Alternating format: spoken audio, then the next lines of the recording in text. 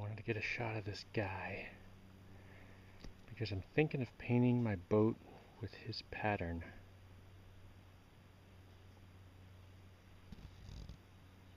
Hope that's coming out on the camera alright. I got all the crap ground off the outside of this and then I immediately put some resin on it so that today I could hopefully sand it. Yeah. I made sure I put lots of hardener in. I mean, not more than it should be. Yeah. All right, where do I start here? I guess I can start by getting off all the little dirt globs. Not dirt globs, but like, you know, chunky bits that ended up in here because I, you know, had uh, not entirely smooth resin. There were some chunks. Yeah, those come off pretty easy.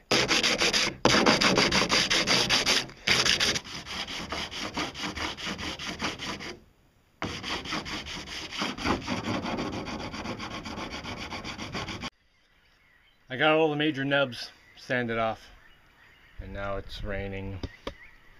Not a lot, just enough to get everything moist. So I'm hoping this blows over pretty soon. Dog, son of a... No, fine. I'm not gonna get this done today. Oh, yeah,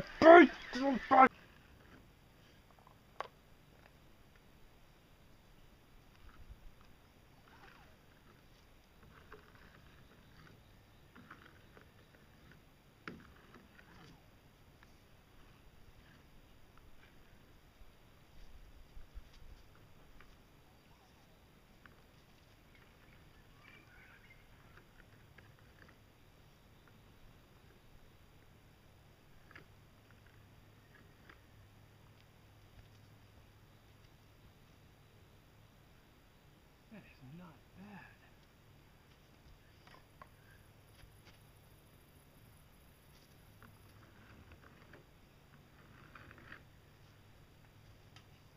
I decided after I got all the real rough bits off,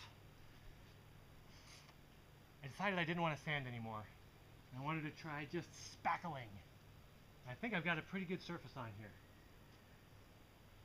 Maybe a few bits of dirt I'll sand off, but other than that, it's looking pretty good. I don't think I need to sand this. It's not perfect, but it's close enough to forego the sanding. Now, sanding is pretty horrible, so it's very easy to convince me not to sand yeah, this, this looks good. Yeah, definitely not perfect, but not bad. We'll take it.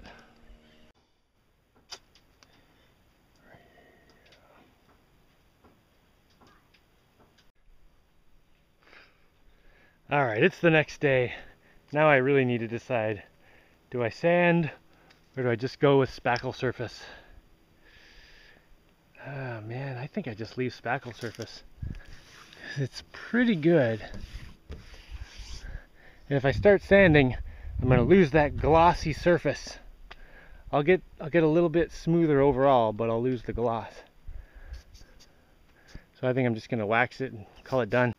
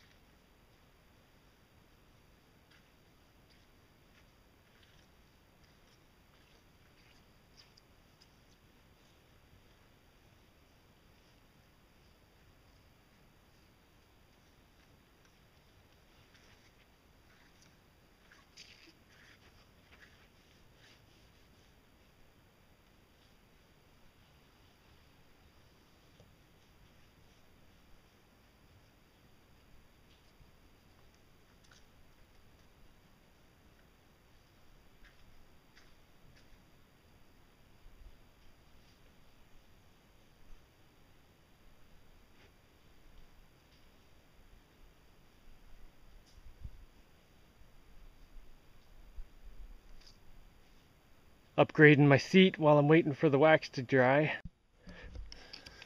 I think it's good.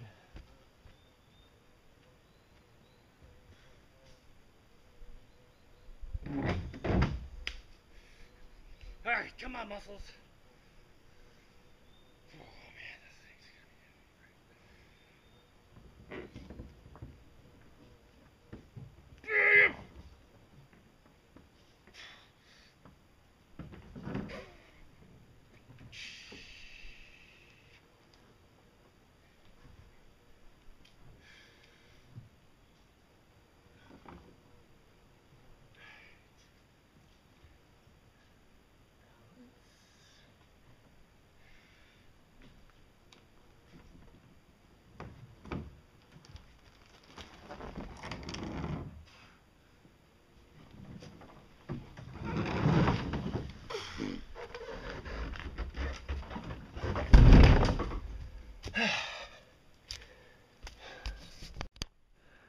All right, next reinforce this area.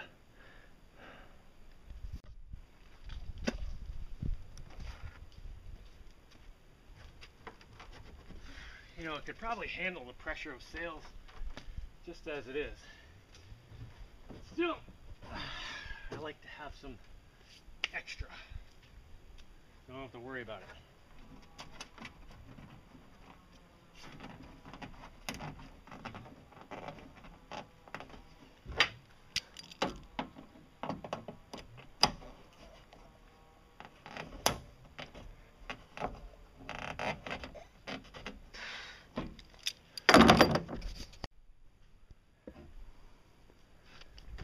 All right, that'll keep this thing from moving that way or that way. Put one on the other side too. I'm about 90% sure those will not interfere with the cover here. Oh, and I think I can test my chair now. I leaned this against it while it was hardening just to give it a bit of a curve that way so it would have strength and wouldn't curve that way when I sit in it. Hopefully, I'd rather it curve that way.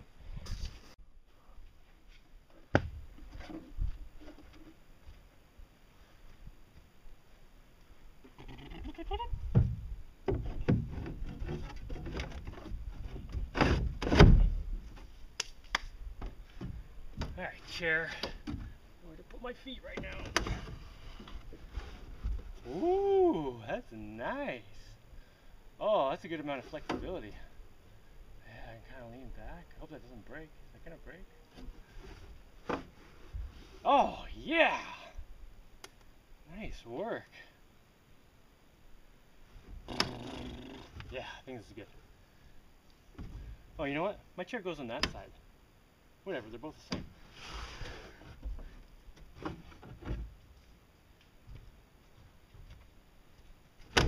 Put it on the side with the steering. I have two of these things that came from something else. I think they go right there. Ish. Bit of trimming and grinning. Good.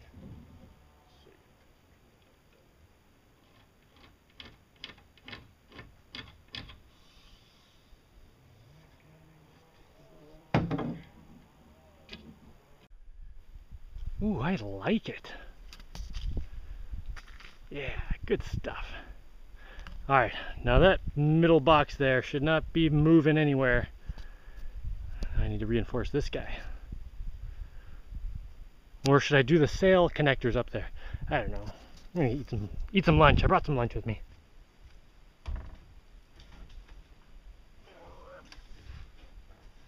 Alright, I got this silly thing stuck up here and that will hypothetically be the pivot point of the sail thing. That will also be roughly the lowest height that it goes down to. Because the mast would come back through here, and then up above that, the sail would curve down and end up being even with the mast at the bottom. So I need that to be like roughly eye level, so I can still see out the side where it comes down, and then where it's up in the middle I can see through no problem. And then also when the sail's up, that'll be the bottom, and I'll still be able to see under. Yeah, Ooh, I think right there. Yeah, right there. I'm thinking if I fiberglass the sides of whatever this thing is, and then fiberglass it to this thing somehow, I don't know how yet, then I can cut the middle out, and then I'll have two big hinge points that are lined up with each other.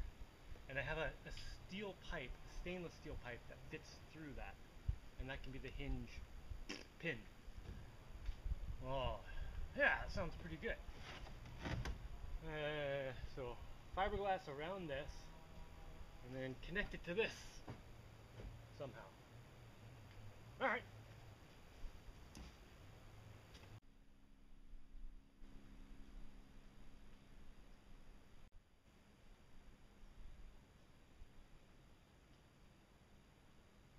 Man, I'm getting full sun, blue skies all day. So I'm taking a quick trip back home to plug some stuff in. All right, plug stuff in, got a charged walkie-talkie, administered hugs and kisses, stole a snack, and I'm out of here. Okay, I resin those in, and as long as they don't move before it cures, should be able to go over this with a bunch of fiberglass and make it really strong. Hmm. All right. If I'm lucky, I might be able to fiberglass those in today. Sun's getting low. Ooh, yes! Got it. Ooh, I'm just about out of sun. Clean up and get out of here. If I can get this much productivity tomorrow, I should have the front thing done. Might even be able to start painting. Uh, that looks like the new propeller, but has nothing to do with propulsion. Oh, that came out great.